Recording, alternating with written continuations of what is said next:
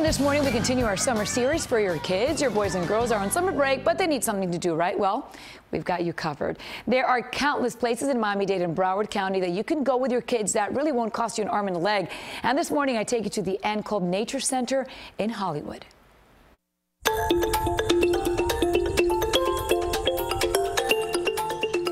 What a sight up here. It really is. It really is. From up here on our observation tower, you can see the entirety of West Lake uh, and the mangrove ecosystem that surrounds it. You can see our observation trails that people walk down to get to the water's edge.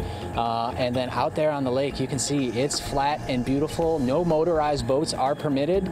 So anybody who wants to come to West Lake Park and bring their own kayak, drop in, or rent one of ours, or a canoe or a paddleboard, come out on the serene lake and enjoy the day. And there's a really cool area here in the exhibit hall where you can actually touch and hold a sea creature.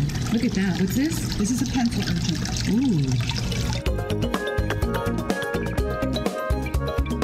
They can come see our exhibit hall, all of our displays in there. They can take a ride on our pontoon boat for a 30-minute nature tour through the mangroves where they can see all types of fish, birds, shrimp, crabs. Come on, butterfly. Now this is nature.